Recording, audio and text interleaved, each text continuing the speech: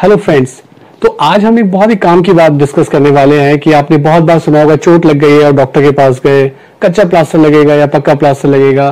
तो क्या होता है कच्चा प्लास्टर और पक्का प्लास्टर कच्चा प्लास्टर एक बैक स्लैब होता है प्लास्टर ऑफ़ पेरिस एक मटेरियल होता है जिसका हम ये प्लास्टर लगाते हैं। आजकल फाइबर का बना हुआ बीट मटेरियल आता है। तो अगर हम कच्चा प्लास्टर लगा रहे होते हैं तो वो एक बैक स्लैब की तरह होता है कि वो हाथ के नीचे की तरफ़ लगेगा, अगर ये हाथ की बात है और पैर के नीचे की तरफ़ लगेगा, अगर ये पैर की बात है। उसके ऊपर बैंडेजेस लपेट देते हैं कॉटन के साथ साथ तो पहले कॉटन की लेयर लगाई पैर के ऊपर या हाथ के ऊपर, फिर ये बैक स्लैब लगा दिया उसके ऊपर बैंडेजेस लगा दिए। ये सारे स्टेप्स होते हैं प्लास्टर लगाने के, कच्चा प्लास्टर लगाने के। फ़ायदा क्या होता है?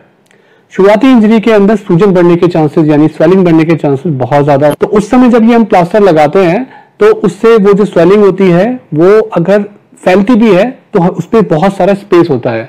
क्योंकि ऊपर बैंडेजेस हैं तो बैंडेज में स्वेलिंग एक्सपेंड कर सकती है।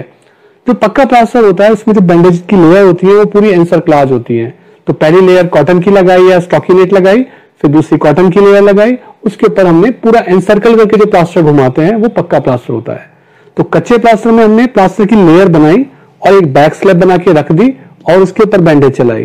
तो ये एक टेक्निकलिटी है, पर कच्चे और पक्के प्लास्टर के यूज़ भी अलग अलग होते हैं। शुरुआती इंजरी में कच्चा प्लास्टर लगता है। जब स्वेलिंग नीचे हो जाती है, बैठ जाती है फ्रैक्चर अपनी जगह ठीक दिखता है, तब हम उसे पक्के प्लास्टर में कन्वर्ट कर देते हैं। वो ड्यूरेशन के ऊपर डिपेंड करता है कितने दिन तक वो पक्का प्लास्टर हम लगा के रखना चाहते हैं। कई बार ऑपरेशन के बाद भी हमें लगता है कि इस हाथ या पैर में सूजन आने के चांसेस हैं तो सपोर्ट के तौर पे कच्चा प्लास्टर लगा दिया जाता है और जैसे जैसे इंजरी और स्वेलिंग सेट हो जाती है, उसके बाद उसे हटा दिया जाता है। तो ये कच्चे प्लास्टर का मेन काम है उस पार्ट को रेस्ट देना। इनिशियल और ताजी इंजरी के अंदर उस पार्ट को रेस्ट देना, सूजन को बढ़ने से रोकना या उसको एडजस्ट करना और उस पार्ट को सपोर्ट देना। पक्के प्लास्टर का काम होता है कि अब उसे आखिर मुकाम तक पहुंचाना कि जब तक वो हड्डी जोड़ ना जाए या चोट ठीक ना हो जाए, तब तक करना।